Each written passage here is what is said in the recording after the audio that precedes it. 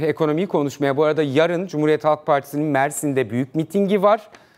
Ee, slogan söz milletin Ee, ve bu miting için tedbirler alındı.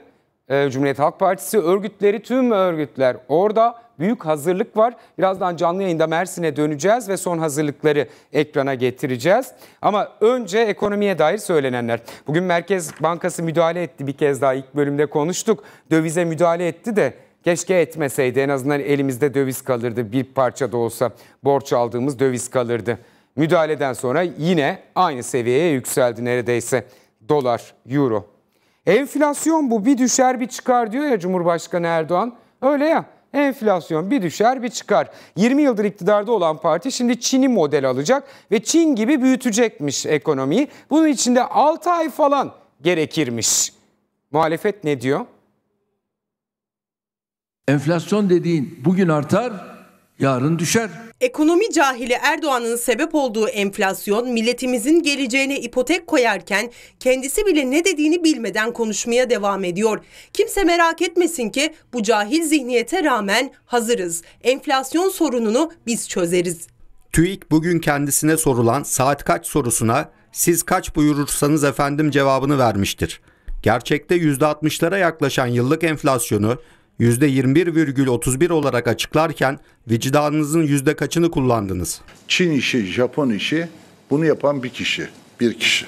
Kafası karışmış onun. O ne söylediğini bilmiyor. Önümüzdeki dönemde enflasyonun çok daha hızlanacağını maalesef hep birlikte yaşayacağız. Erdoğan enflasyon düşer de yükselir de dedi. Dolar TL kuru sert yükseldi. Türk lirası her geçen gün değer kaybederken gerçek enflasyon uçtu. Muhalefet tepki gösterdi. Türkiye gibi tarihi olarak yüksek enflasyona şerbetli bir ülkede yüzde yirmi düzeyi kısa sürede çözülebilir bir sorunu ifade ediyor.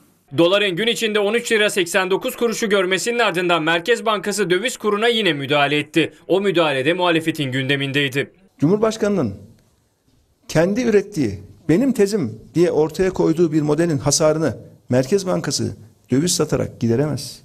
Yapmayın. Sadece ilave döviz talebi yaratıyorsunuz. Sayın Cumhurbaşkanına susmanız daha hayırlı olacaktır demeniz döviz satmaktan daha etkili olacaktır. Sizin yapmanız gereken şey politikayı düzelteceksiniz. İşleri düzeltmeniz lazım. Yani zaten rezerviniz eksiyken işte elinizdeki biraz brüt rezerv var. Onlarla müdahale ettiğiniz zaman kura bundan sonuç almanız mümkün değil. Ancak birilerini zengin edersiniz.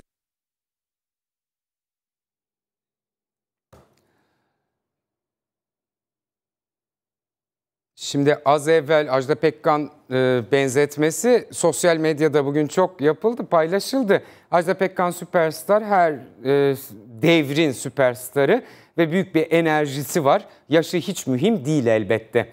E, o parantezi kapatayım. Hoş olmadı sanki diyenler var. Yüz binlerce kişi de onu paylaşmış. Diyorlar ki enflasyon, açıklanan enflasyon Ajda Pekkan gibi.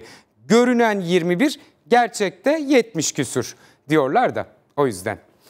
Şimdi Mersin'e döneceğiz efendim. Mersin'de neler oluyor bu akşam? Büyük hazırlık var.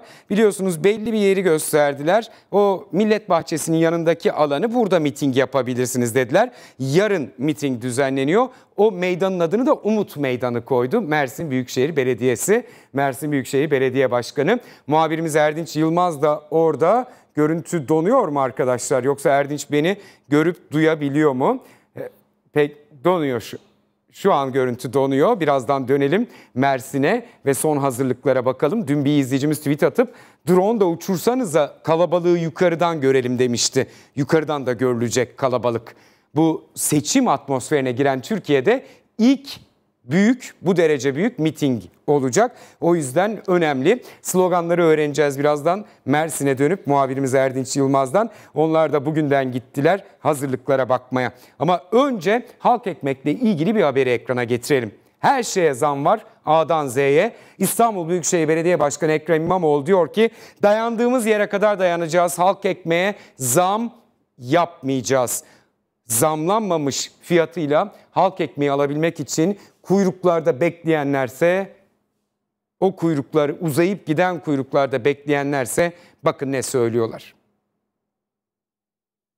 Halk ekmek aslında e, ne yazık ki ülkemizde yoksulluğun bir barometresi gibi oldu ya da bir tansiyonunu ölçen bir mekanizma gibi oldu. Eğer ülkede şu an ekonomik bir problemle, sorunla karşı karşıya isek bunu ne yazık ki e, en e, acı bir şekilde bize gösteren kuyruklardan birisi e, ekmek e, kuyruğu. İstanbul Büyükşehir Belediye Başkanı Ekrem İmamoğlu'nun sözünü ettiği halk ekmek kuyrukları her yerde.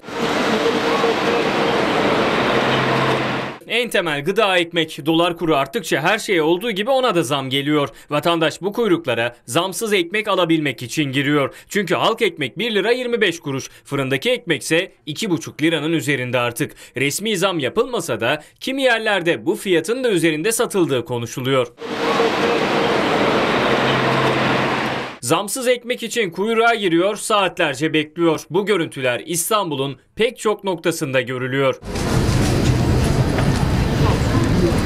İmamoğlu halk ekmeğe de zam gelecek iddialarına ilişkin konuştu. Bir de bazı AKP'li isimlerin kurgu dediği o kuyruklarla ilgili. Yani bu kadar aslında kamunun, özel sektörün zor iş yapabildiği, iş yürütebildiği bir dönemdeyiz. Ama bütün bunlara rağmen e, vatandaşımızı koruyacak sübvansiyonu yaparız.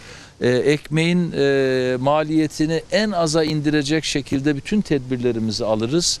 Vatandaşımızın yanında oluruz. Maliyeti en aza indirecek tedbirler alıyoruz dedi. Halk ekmeği şimdilik zam yok. Bakalım nereye kadar? Vatandaşın alabildiği bir ucuz ekmek zaten. Az evvel gösterdim kırtasiyeye kalem yazdıran veliler var. Pazarda çıkma patlıcan satılıyor. Bir buçuk kilosu 5 lira. Durum bu. Allah yardımcımız olsun diyor Türkiye'yi yönetenler baktığın zaman. Hakikaten Allah yardımcımız olsun. Olur da dua ediyoruz ama e, önce ülkeyi yönetenlerin şöyle bir oturup düşünüp taşınıp ne yapılması gerekiyorsa yapması lazım. Belirsizlik içerisindeyiz. Yarın ne olacağı belli değil. Dün Avrupa Konseyi'nin kararını duyurdum size. Osman Kavala davasında Avrupa İnsan Hakları Mahkemesi kararlarına uymuyoruz. E bunun bir yaptırımı olacak. Nasıl bir yaptırım olabilir? Türkiye'ye nasıl bir yaptırım uygulanabilir? Şimdi o konuşuluyor. E, dediler ki size son süre 19 Ocağı kadar bu karara uyun. 19 Ocak nedir? E, duruşma tarihi. Kavala duruşması sonrası 19 Ocak sonrası bakalım ne gibi yaptırımlar açıklanır ya da 19 Ocak'ta acaba Kavala serbest bırakılır mı? Avrupa Konseyi Osman Kavala konusuna yeni bir adım attı. Türkiye'ye karşı ihlal prosedürü başlatacağı yönde ara karar aldı. Kavala davasında Avrupa İnsan Hakları Mahkemesi kararına uymadığı gerekçesiyle. AHİM'in kararı nasıl uygulayacağını belirtmesi için Türkiye'ye 19 Ocak'a kadar süre tanıdı. Bu süre ilk etapta 12 Ocak olarak belirlenmişti. Ancak komite Ankara'ya son bir şans daha tanıdı. Bir sonraki Kavala duruşmasının 17 Ocak'ta olması nedeniyle süreyi bir hafta erteledi. 19 Ocak olarak belirledi. Bakanlar Komitesi e, bu kararın uygulanmasının gerçekleşip gerçekleşmediğini Avrupa İnsan Hakları Mahkemesi'nden soracak. Mahkeme e, eğer e, Türkiye'nin e, karara uygun bir şekilde e, uygulamadığına karar verirse e, bunun sonucuyla birlikte tekrar Bakanlar Komitesi'ne bildirecek. Karar Avrupa Konseyi Bakanlar Komitesi tarafından alındı. Kararı Fransa'nın Strasbourg şehrinde Avrupa Konseyi üyesi 47 devletin daimi temsilcileri oyladı. Temsilcilerin çoğunluğu ihlal prosedürü lehinde oy kullandı. E, aslında politik sonucu olan bir karar. Çünkü zaten ihlal kararı çıkmış. Ama bunu izleyen süreçte Avrupa Konseyi Bakanlar Komitesi'nin e, diğer araçları devreye sokması gündeme gelebilir. Komite Kavala konusunu 2 Şubat'taki toplantısında yeniden ele alacak. Bu toplantıya kadar Kavala ahim kararı uyarınca tahliye edilirse ihlal prosedüründen vazgeçilebilir. Aksi halde komitenin ihlal prosedürü için ahime resmen başvurması bekleniyor.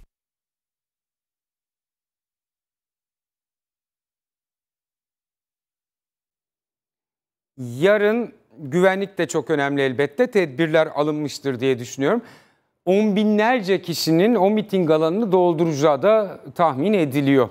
Göreceğiz. Yarın canlı yayınlanacak elbette Halk TV ekranında CHP'nin Mersin büyük mitingi. Bu seçim mitinglerinin ilki olacak. Şimdi Erdinç hareketli bir şekilde karşımda. Arkasında da büyük bir hareketlilik var. Akşam hava karardı ama hareketlilik ve çalışmalar devam ediyor galiba. E, miting alanına bir sahne mi kuruluyor? Ne oluyor Erdinç? Son bilgiler sende.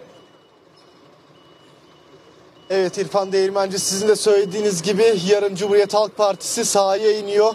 Erken seçim talebi vardı Cumhuriyet Halk Partisi'nin. Bunu dillendirecekleri yer ilk durak Mersin oldu.